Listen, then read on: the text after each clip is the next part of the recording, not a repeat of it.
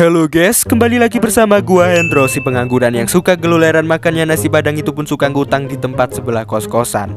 Selamat pagi, siang, sore, malam buat semuanya. Di sini gua akan membahas alur cerita film laga atau juga biasa disebut film action yang diperani oleh aktor ternama Don Yen, Bao Xiangwang dan beberapa tokoh terkenal lainnya. Film ini berjudul Kung Fu Jungle. Ya, tanpa basa-basi, tanpa bacot kicot codot langsung ke film aja. Cerita diawali dengan seseorang dengan keadaan penuh luka juga berlumuran darah datang ke kantor polisi untuk menyerahkan diri. Namanya adalah Hao Hao Mo, seorang ahli bela diri campuran yang tak sengaja membunuh lawannya. Tiga tahun kemudian terjadi sebuah insiden kecelakaan yang cukup janggal karena pengemudi mobil yang meregang nyawa berada jauh dari lokasi mobilnya yang hancur. Diketahui korban dari kecelakaan ini adalah juara tinju nasional. Seorang kepala bagian Departemen Polisi daerah bernama Luke Yansem diterjunkan untuk memecahkan kasus tersebut. Dari hasil olah TKP ditemukan sebuah pistol milik korban dengan beberapa selongsong peluru yang tak mengenai objek hidup apa pun. Bahkan dari hasil forensik, penyebab korban meninggal bukan karena senjata tajam maupun benturan keras, melainkan karena sebuah pukulan yang sangat keras dari tangan kosong. Bahkan pelaku pembunuhan meninggalkan sebuah benda berbentuk walet sebagai tanda eksistensi pembunuhan yang ia lakukan.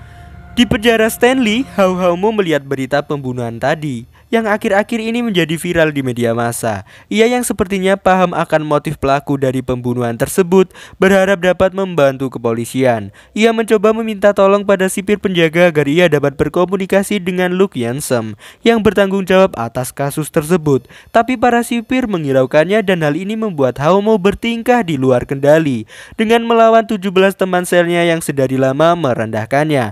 Hal ini ia lakukan agar aksinya menarik perhatian Luke Yansem.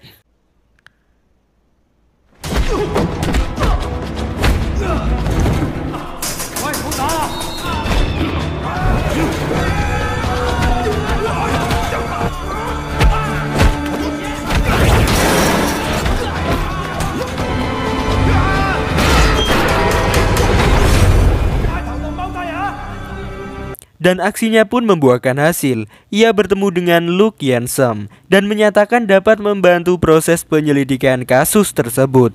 Ia menjelaskan bahwa sang pelaku pembunuhan ingin memburu para ahli bela diri dan menunjukkan kemampuannya. Luke Yansem pun tak menggubris pernyataan Haumo, tapi Haumo membuat Luke Yansem terkejut dengan menyebutkan beberapa nama yang mungkin akan menjadi korban pembunuhan selanjutnya. 曹子安、胡生泰、方六德，下一个。Di sisi lain di sebuah tempat pameran seni seorang bernama Tan King Yu yang pernah dinobatkan sebagai ahli bela diri terbaik yang terkenal karena jurus kaki terkuatnya yang kini ia beralih menjadi seniman pahat ditemui oleh orang misterius yang mengaku bernama Fung Yusao. Orang tersebut menantangnya bertarung sampai mati untuk membuktikan kaki siapa yang paling kuat. Nasib naas diterima oleh Tan King Yu.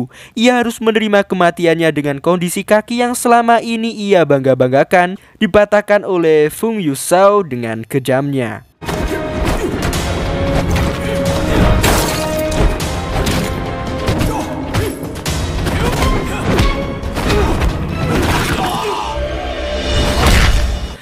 Di sisi lain, Luke Yansem yang terkejut dengan pernyataan dari Haomo mencoba untuk menyelidiki semua nama yang Haomo kemarin lontarkan. Siapakah sebenarnya mereka? Di sini sebuah fakta juga terungkap bahwasanya Haomo dulu adalah seorang pimpinan perguruan enam aliran gabungan yang memiliki ribuan pengikut di masa jayanya dan merupakan pelatih bela diri kepolisian Hong Kong.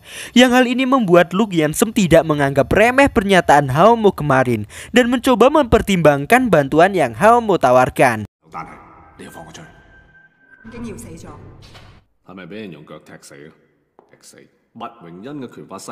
Dan akhirnya Haumu pun dibebaskan bersyarat dan diwajibkan untuk mengikuti penyelidikan kasus ini. Dilihat dari urutan korban menurut Haumu, sang pelaku pembunuhan sepertinya mengincar ahli bela diri mengikuti ungkapan dasar kungfu, yaitu dimulai dari tinju, diwakili korban pertama yang merupakan sang juara tinju. Selanjutnya kaki yang diwakili oleh korban kedua tadi, diteruskan gulat, senjata, dan tenaga dalam, yang mengartikan korban selanjutnya adalah seorang ahli gulat. Tapi Aomo dan pihak kepolisian terlambat untuk mengamankan yang diduga korban selanjutnya tersebut. Ia bernama Wong Chit, seorang ahli gulat yang pensiun dan kini membuka studio tato. Di hari kejadian, Fung Yuso menantangnya berduel sampai mati. Dengan kejamnya, Yuso menekan titik-titik saraf motorik yang menyebabkan Wong Chit merenggang nyawa.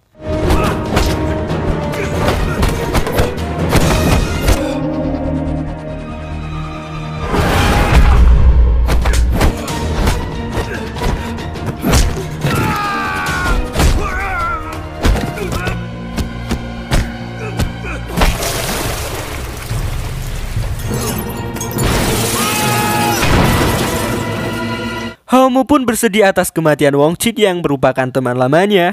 Tapi tak diduga, Fung Yusou dengan senyum kejamnya memantau mereka dari atas. Dan adegan kejar-kejaran pun tak terelakkan.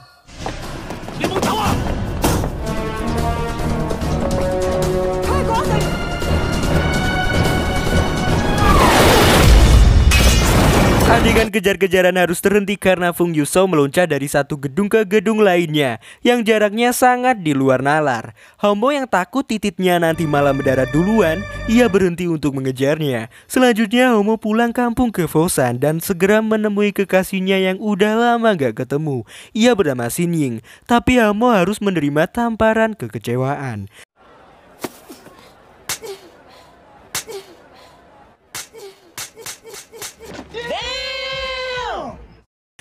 Di Fosan, Homo pun meminta maaf kepada mendiang gurunya karena dengan tangannya ini ia telah membunuh seseorang yang tak berdosa. Untuk mencegah kejadian tersebut terulang lagi, Xin Yang membuatkan gelang pengingat agar Homo tidak menggunakan tinjunya untuk merenggut nyawa seseorang.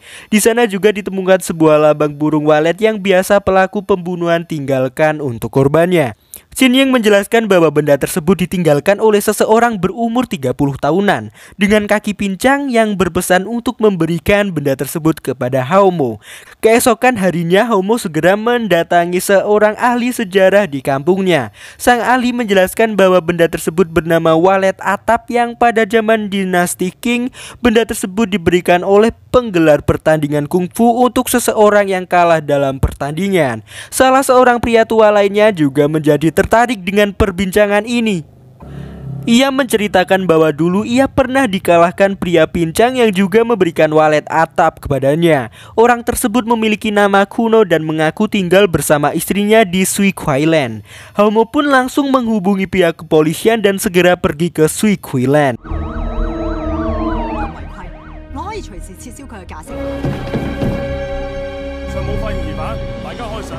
Di sana sang pemilik kontrakan menjelaskan bahwa tempat tersebut dulu disewa oleh pria bernama Fung Yusao bersama istri tercintanya. Yusao adalah seorang penggila bela diri yang kesehariannya hanya ia habiskan untuk berlatih kungfu.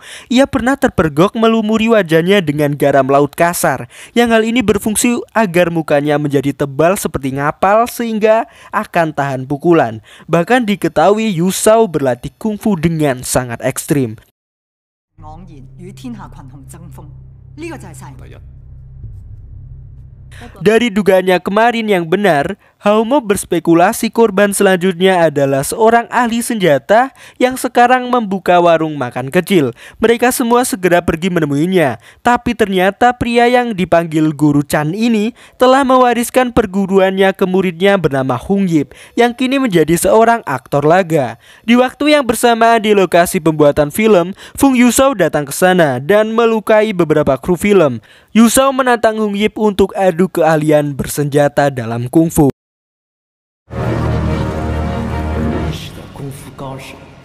风一休，好将。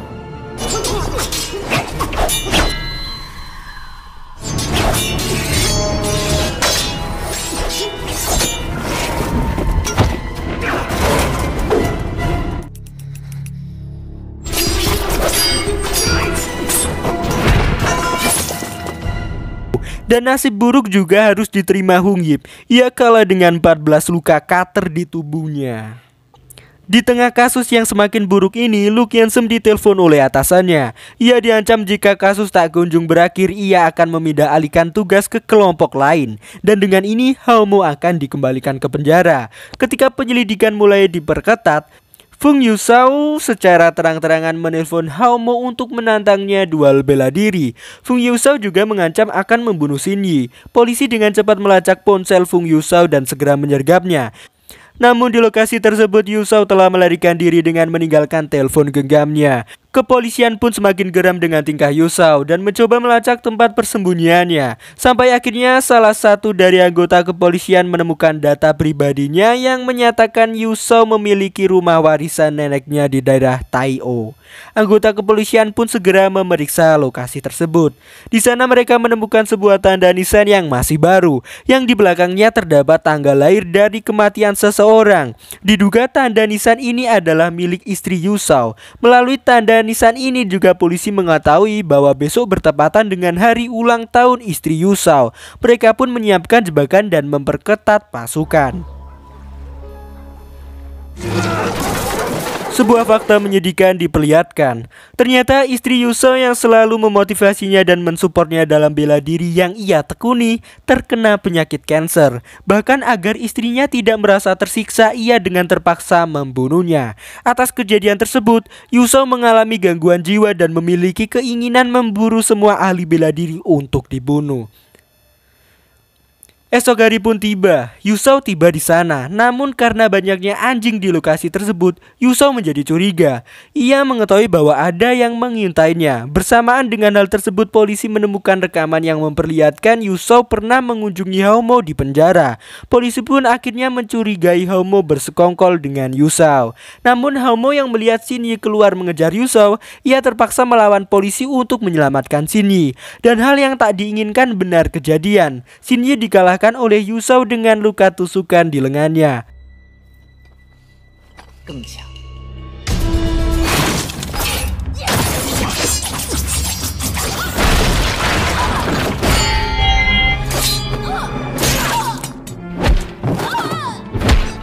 Homo yang melihat kondisi Yi, ia menjadi kacau. Ia yang sekelebatan melihat bayangan Yusau segera menerkamnya. Namun Yusau bisa kabur dengan mengendarai perahu mesin milik salah satu polisi.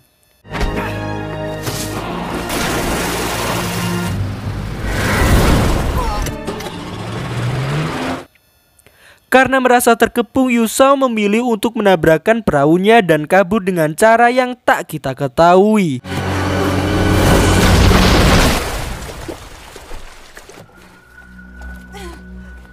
Setelah kejadian tersebut semua korban dievakuasi begitupun juga dengan Shinji dan melalui HT Haumo menjelaskan kesalahpahaman polisi terhadapnya bahwa memang benar Yusou pernah mengunjunginya. Namun dalam kunjungannya Yusou menantang Haumo untuk bertarung dengannya dan mengancam akan membunuh Shinji. Dan hal ini tidak disampaikan oleh Haumo karena ia khawatir polisi tidak akan mempercayainya dan tidak akan membebaskannya.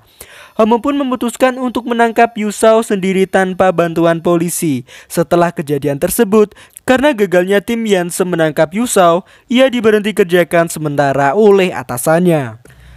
Namun Yansem tak berhenti begitu saja. Ia pergi sendiri ke kediaman Yusau dan mencoba mencari sebuah clue. Siapakah yang akan menjadi korban selanjutnya? Dan di sana di balik tembok ia menemukan daftar korban selanjutnya bernama Shuk Hoknin yang kini bekerja sebagai supir truk. Bersama dengan hal itu, Yusau memberhentikan mobil truk di tengah jalan. Dan yang keluar ternyata adalah Homo yang siap membalaskan dendam teman-temannya yang dibunuh oleh Yusau. Sementara itu, si Hoknin yang merupakan korban selanjutnya disuruh Homo untuk menghubungi Yansem dan memberitahu lokasi pertarungan Homo dan Yusau. Pertarungan pun dimulai. Dari menggunakan tinju, tendangan gulat, dan tenaga dalam.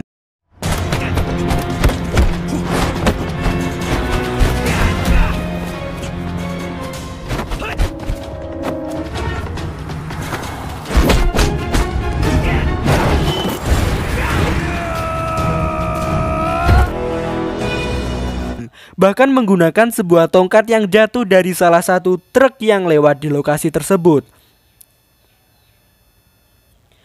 Di tengah pertarungan Helmo mulai serius dan dengan mudah ia dapat mengalahkan Yusau.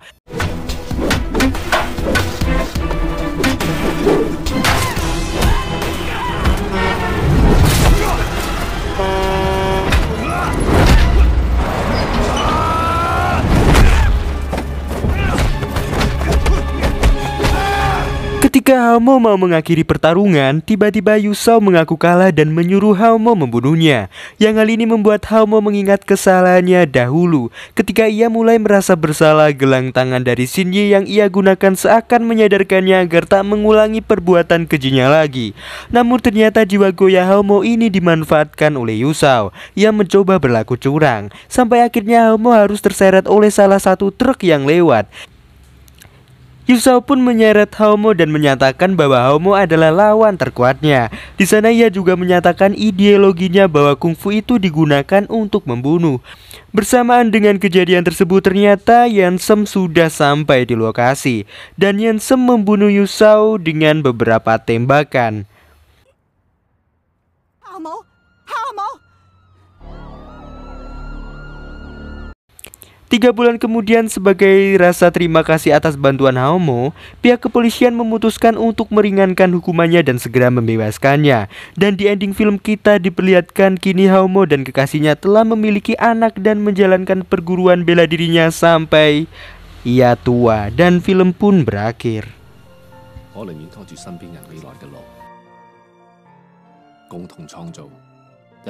我